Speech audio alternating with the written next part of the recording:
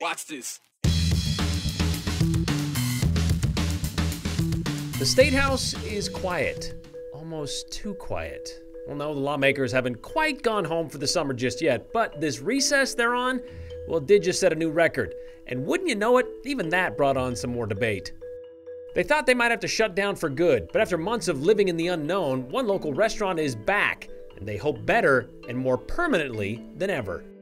The landlocked state of Idaho owes a big chunk of its history to a line of well known tropical islands. It just wasn't well known on how to spell it. Hawaii 50? Nah, Owyhee 208.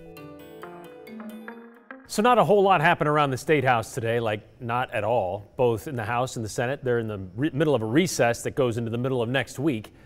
Taking a break of five business days, which is the amount of time the governor legally has to sign or veto any bills that come across his desk. And they're hoping that by the time they come back to wrap things up, and if they need to revisit or override any veto, they can do that then. They are planning to take a per diem allowance for these five days. They decided that last night, but it wasn't without some lawmakers asking for it. Republican Representatives Heather Scott, Vito Barbieri, and Dorothy Moon all raised objections to turning down the per diem. Representative Heather Scott, who lives way up north in the Panhandle, well, she made a point of saying how expensive it is to live in Boise, saying she may have to use money from her campaign fund to in order to cover the cost. While Barbieri said, quote, it just seems to me that if we're in session, we should be paid per diem, and if we can't be productive, that's just the way it has to be sometimes, end quote. But Representative Megan Blanksma, who lives in Hammett, east of Mountain Home, said she believes they can all agree. They all, all lawmakers, they all want to be good stewards of taxpayer dollars. Well, yesterday we told you how much it would cost should they get paid per diem per pause like this one. In addition to the annual base salary, they all get, well, no matter how that long that legislative session lasts, there's a stipend to help pay for daily expenses. For lawmakers living in districts within 50 miles of the state house, they get 100, they get $71 per day. Outside of that 50 mile radius, it's $139 per day. That $139 per day isn't the only additional compensation either that they get. They also get what's called a constituent service allowance, which ranges from $400 to $3,200 depending on the size of their district. And those who live in geographically larger districts obviously get a larger payout. Plus, there's mileage compensation to consider. And this is where that $35,000 a day cost of session comes from. And that would be extra days for every day they go beyond their average session length of 90 days. And so far, the extra per diem alone has cost Idaho taxpayers an extra $735,000. And adding another, another 175,000 to that total, well, you can understand why, despite Representative Scott's pleas, they decided to turn down a per diem for next week. And if you think it's expensive to live in the Boise area for a few months or maybe a little longer, try it even longer than that. Maybe those property tax breaks would have had a much bigger consideration if you had to feel the pain a little longer, right? Maybe, I don't know. Both the House and the Senate will reconvene next Wednesday, and that would be on day 122, meaning this will become the longest legislative session in state history, breaking the previous record of 118 set back in 2003. So, congratulations. That day total is assuming they don't have to spend any more time than planned trying to override a veto, possibly, two of which have already failed this session. Both of those had to do with limiting the governor's powers to declare and even during an emergency. Well, as we said yesterday, those vetoes and uh, failed overrides in the Senate didn't stop them from trying again. Before they left yesterday, both the House and the Senate passed three similar bills aimed at limiting the governor's powers during an emergency. All three now sitting on his desk waiting for his signature. House Bill 391 forbids any restrictions on constitutional rights, specifically that Idahoans would still be allowed to peacefully assemble, go to church, keep their guns in a state of emergency. House Bill 392 says the governor cannot change any law during a declared emergency, though he could suspend enforcement of it. And House Bill 393, which says that if any restrictions are made during an emergency, they must be done so to, quote, protect life or property from the occurrence or imminent threat of the state of disaster emergency threatening the safety or persons or property. I should say of persons or property. So, kind of watered down versions of what they sent to the governor last time. In addition, the Senate also passed a replacement bill for the one that was previously vetoed. That would be Senate Bill 1217. It's aimed at protecting workers and constitutional rights, and it reaffirms the legislature's authority during emergencies. The difference this time, well, members of the Senate say they worked with Governor Little on all four of those new bills. In anticipation, he will sign them this time.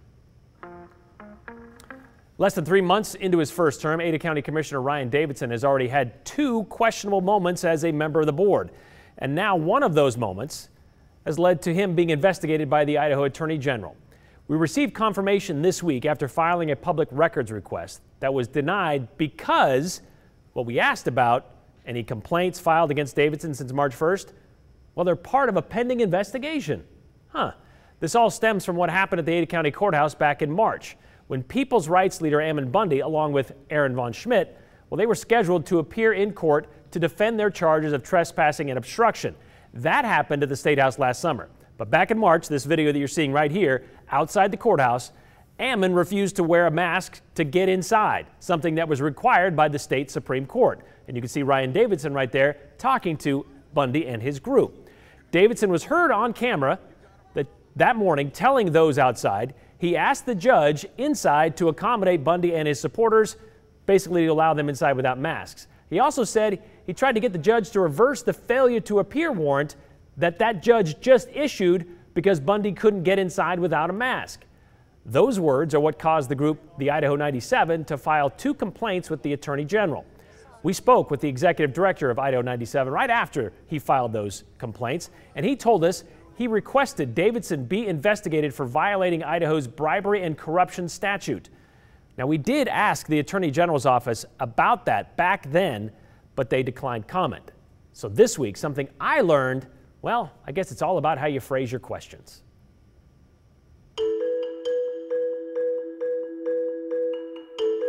It was one of the most popular restaurants in downtown Boise, and then COVID forced it to close its doors. Now, nearly a year later, it's finally back open. You know what is always open? The 208 text line.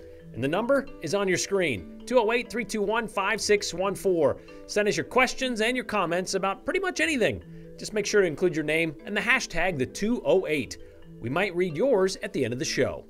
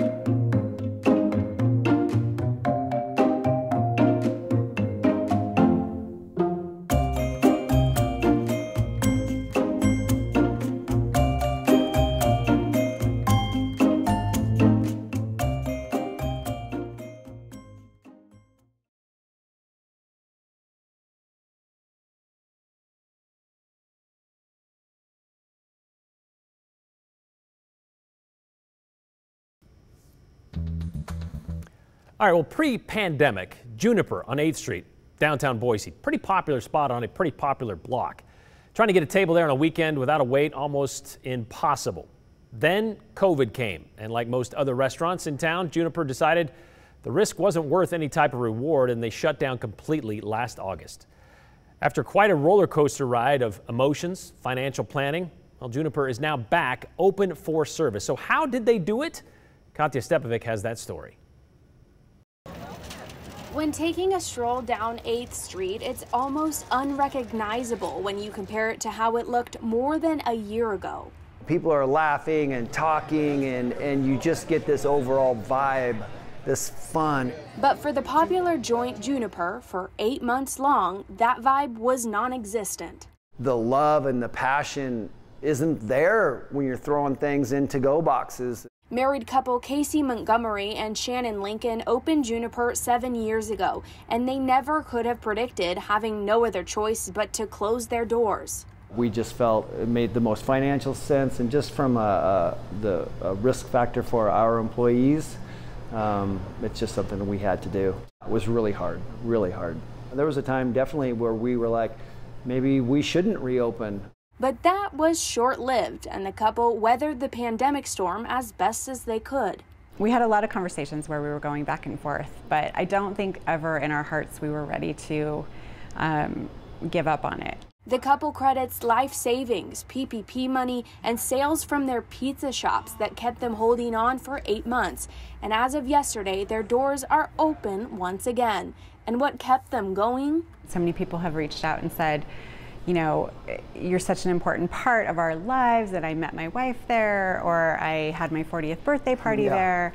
And that has been something sort of surprising for us, seeing our neighbors with patios full and life coming back to the street has just been really, it's been rewarding to just see like we stuck it out and made it through all of that. With a reimagined menu, spaced out seating, high back booths, and reduced capacity, Juniper is back, and hopefully this time for good.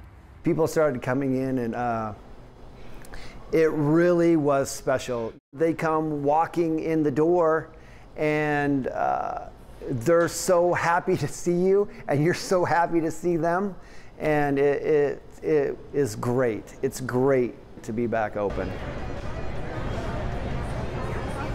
Now, Juniper is taking a very cautious approach to their reopening plan. They're increasing capacity bit by bit, but one of the challenges they face that is absolutely not an isolated incident right now is, of course, employment. So many restaurants, some that even opened in April that I reached out to today, Teo, Kin, and Petite Four all have this issue, and it was partially the reason why some of them couldn't even be in the story to go on camera today. So they're really absolutely looking for that support right now. Brian. Yeah, that's kind of what the, a lot of these restaurants and even small businesses are running into. It's that, well, we want to reopen, we want to get back to full time service.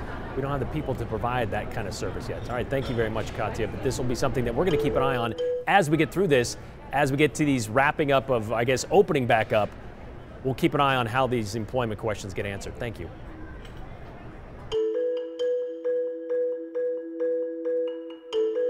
You ask the questions, we try to find the answers. And we're going to tell you what we found out on a couple of them today, from the mountains out west to the routes running through town. We're going to share some of the unique history of Idaho. So we want you to ask us some more questions. Well, now's the time to do that. 208 321 5614. Text us, or you can even tell us about it on social media. We're on all the big ones. Anything about Idaho you want us to explore? Well, it might take us some time, but we're going to try to find the right answer. Send us a text with your name and the hashtag the 208. That way we make sure who's asking.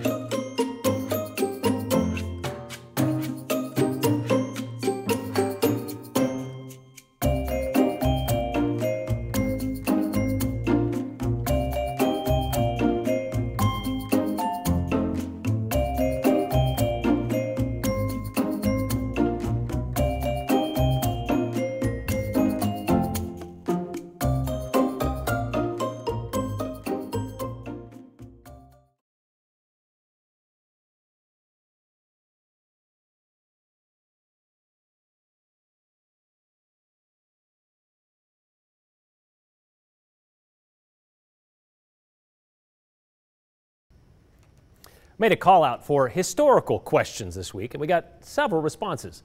Like this one from Sherry. I would love it if new residents of Idaho learned about how the Owyhee Mountains got their name. Owyhee being the old way to call Hawaii, of course, and how it's connected to the mystery. Oh, hold on, hold on, hold on. Is this your story, Sherry, or are we telling the story? We'll get to that. You kind of just ruined it right there in the. Oh, well, we'll get to it. Yes, Owyhee is the old phonetic white man way to say and spell Hawaii. What does that have to do with Idaho, though? Well, it has to do with Captain John Cook, the Canadian fur trade, and the idea that having Hawaiians in your hunting party might make it easier to deal with Native Americans. Tonight, we're getting to know Idaho and how the Pacific Islands played a part in its history. It's the oldest county in Idaho. In 1863, Owyhee County was the first to be organized and named. But about that name. That's a whole story, you know. And to help tell it, we asked Eric Scarsvo, director of the Owyhee County Historical Museum, who's heard this question a time or two. Yeah, it comes up quite a bit. Where does a Hawaii, you know, how do you say it, how do you spell it, and where does it come from? It comes from a place far away from Idaho. In the early 1800s, the Northwest Fur Company out of Canada went looking for workers from a place legendary British Captain James Cook called Owyhee. Around 1818, according to Eric's, Donald Mackenzie, working for the company, led an expedition that included three Hawaiians through the Pacific Northwest. They came into the uh, rugged frontier here. So they really forged up the Columbia River and got all the way up into this border of Idaho Oregon area. And then he separated his crew. The Hawaiians were kept together, and that summer were sent off to set up traps. Mackenzie wrote about it in his journal. His quote is uh, Three Owyhees, spelled the way we spell it, Owyhee, went along a small river to trap where no danger was seen. But they must have found some. Probably a year later, they were supposed to reconvene with Mackenzie, and they never did. And they located the camp along the small river where they were camping, but they were nowhere to be found. And by at least 1820s, 1821, maps and other fur traders and other people coming out were already using that the name Owyhee River. And they were writing it on maps already. So that little river started bearing their name of the Lost Hawaiians right away, and it has never changed. And that's how Idaho's first county came to be named after our country's last state. They got lost, and um, but we didn't forget them. Well, just how they were lost, we'd never learned, although some assume and speculated it could have been Native Americans, but that couldn't ever be proven. The county got the name, but first it was the river and then the mountains, and then there was even a stage stop once in Ada County named after it. And as Eric said, even the Snake River wasn't always known as the Snake River, but the Owyhees have had the same name since. Well, it was hot in Owyhee County today and in Boise. Take a look at the temperature. We hit 90. We just did it at the top of the hour. So 90 degrees for the high temperature. The record's 95. Looks like the record's going to stand back in 1947. But we've got a beautiful day, as you can see outside, with sunshine. Of course, we do have the heat. And Ontario hit 91. Nampa has 91 degrees. Boise 85. Mountain locations mainly the mid 70s, along with that 90 degree high for Boise today. Winds for tomorrow. Winds tonight. We had a wind gust already up to 32 miles an hour. And we're going to see it again for later tomorrow afternoon and evening. Watch for dust, blowing dust around the area, especially around the freeway. Be careful with that for this evening and the same thing for later tomorrow night. Thunderstorms, not much around Boise. They're kind of moving around us. We have that rain shadow effect here, so it's drying out toward Boise. But the further east you go, a few thunderstorms here southwest of Glenns Ferry and especially around Twin Falls. Not a thunderstorm yet, but they definitely have the moisture. And then when you look west of Ontario, western portions of Malheur County have thunderstorms, some of uh, some pretty good size that are starting to develop out that way. So this pushes through for late this evening, so very late. Boise will be seeing it. Out here to the west, there's a little more moisture for very early tomorrow morning. I'd say about 4, 5 o'clock in the morning. That's why I've got a light shower in the morning, but the temperature comes down from 90 to 63 degrees. Over 25 degrees it drops. 61 for Saturday, 64 for Sunday. When you look at Monday, it's 68 degrees. We start to warm up again next week, but we're in the 80s. But here we are, not in the record books. I know about this one. We hit 90 degrees for the high temperature today. Brian? 90 for the record books, for the history books. And we got another historical question from our call out this week. This one from our 208 Facebook group. Linda Graham asked us this I'm curious about the cemetery in the middle of the Bridge Tower subdivision. Funny enough, Linda, I was curious as well about 17 years ago. And what I learned, well, it's called the Five Mile Cemetery. But I also wanted to know how they just decided to build up around it. So I took a walk. Lila Hill, a local histori historian who specializes in the city of Meridian. She told me that particular cemetery is a pioneer one, which is not that unusual in Idaho. I mean, in fact, we just learned about Joplin's last week. What made this one unusual, though, is how they incorporated it in the subdivision. So here's the answer to your question, Linda, in today's 208 redial. By 2000, we were up and running. Bridge Tower is one of the latest subdivisions in Meridian, I think we're like 230 homeowners now. with the newest houses wrapping around the oldest eternal home, When we were looking at the land, yeah, we found out that this was on the property. property that holds Meridian's pioneers. the Five Mile Cemetery. It's the oldest cemetery in Meridian, is that correct? It is. According to Lila Hill, Well, it was just a little plot that was set aside for burial in 1890. Lila is the town historian, So you know a lot about Meridian. Quite a bit. but little is known about who lies here. I can't tell you at this point a lot about them, but on top of the stone, there used to be a little lamb, and it's broken off here. Who's this here? This is George Nisbet. He uh, was one of the early settlers. This would be the early one, yes. This is Ezekiel for 1890. What Lila knows They were all farmers, yes. comes from old family letters, like this one describing the passing of Priscilla. and she had gotten sick from a uh, injury on her leg. And skipping down, it says, Mother was buried in her black dress and her lace cap. She was buried by the side of Father. For the last week of her life, she talked to Father very much. He seemed very near her. That was written by. Charlie A. Lamb, The cemetery is small since it was only active for three years. probably uh, as the only cemetery in the area for three years. Since then, the stones have stood by almost unnoticed. It just was overgrown with weeds and things like happens. Ten years ago, it was cleaned up, and eventually the property was sold for development. But removing these residents from their final resting place was never a consideration. No, they were there first, I think, you know, just leave it that way. Having grown up uh, as a youth uh, during the Poltergeist movie, it's not something you want to you want to bury over or try and hide. Besides, they're fairly quiet neighbors. That's true, yes. So here lies the city's oldest necropolis, holding its ground against Meridian's expanding metropolis. Well, life renews itself and renews itself and renews itself. Brian Holmes, I guess it's called progress. Idaho's News Channel 7. has a plethora of knowledge about the city of Meridian, always has. In fact, she was awarded the 2017 Ada County Making History Award for her contributions to the preservation of Meridian's history. The Five Mile Cemetery did get some small landscape upgrades over the years since we first saw it back 17 years ago. There is a new sign that designates it as Meridian's first cemetery. They also see some trees added to it. They've expanded the grass. The fence is still there. There's even some homes, a few more homes now, surrounding this park. But even amongst the hustle and bustle of the booming city, the cemetery remains a peaceful little patch tucked behind some, well, kind of modern day architecture. The final resting place of some of the first people in Idaho, yep, it is still there. Even that iron fence, still part of the original plot. This is, yeah, a nice place to sit and kind of get a little reminder of where, well, we all will end up eventually.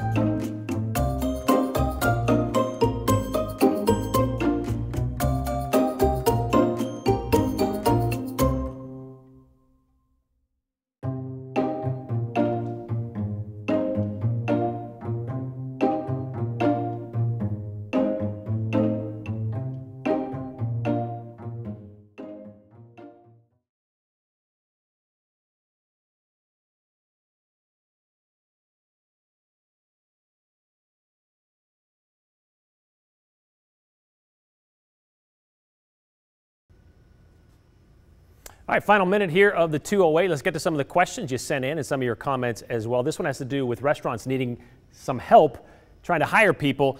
You should reach out to the governor and talk to him about ending the extra unemployment benefit. Clearly, there are many jobs available. Restaurants and other small businesses are suffering greatly after an already rough year. I think, believe though, if I'm not mistaken, that extra $300 is a federal thing. I don't know if the governor can deny that or turn that down or not. It's a good question, though. We'll look into that. I know we have before, but I believe it is a federal program. Anyone remember when Republicans opposed the wasteful use of taxpayer money by the legislature? Steve talking about the extra money we're spending in this session, the debate over whether per diem should continue during pauses, all that kind of stuff. The legislature answered its own question about why the governor needs the authority to act quickly in a state of emergency. Karen from Garden City, best one of the day. They kind of took their time with this, didn't they?